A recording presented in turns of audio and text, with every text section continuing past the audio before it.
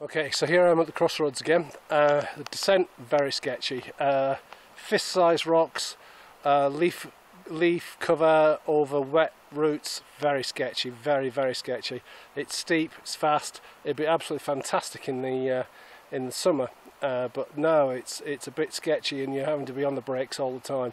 A couple of uh, water crossings, which is nice, but again, you know the the entry to them is covered in leaves now, so it's difficult to find out what it is, uh, you know, the entry point, what it's going to be like when you when your your tyres go over it.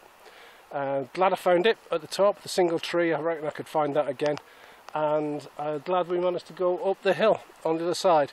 So I've now got a route that takes me up from Holford, uh, up this hill or down it, preferably from from the top, and then back up this one. So uh, a new track found, or a track refound, shall we say, uh, and that was what the hunt was all about. Anyway, this is the Grey Rider on the Quantocks yet again. I'll see you soon.